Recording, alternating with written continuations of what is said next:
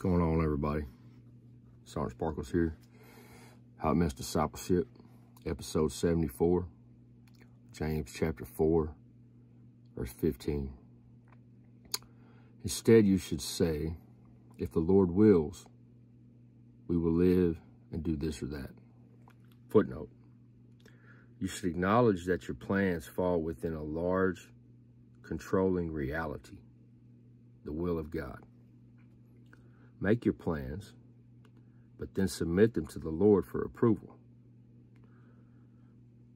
To do something if the Lord wills is not a pious phrase, but a philosophy of life. Jesus' food, food, was doing the will of his Father. So put it on your menu.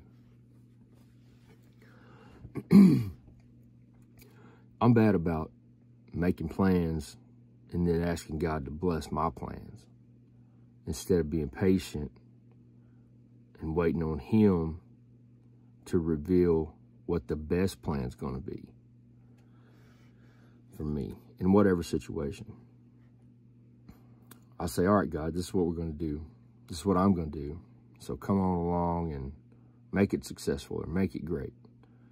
And I'll rush things and try to do things my way. That never works out very good. I always get a better result if I would just pause and wait on God. It's hard to do because I'm impatient and I want to do things right now and I don't want to stop and wait and listen and submit my plans to God. But that's always the better way. If we get God involved before we're in a mess, the mess is a lot less likely to happen. Love you guys.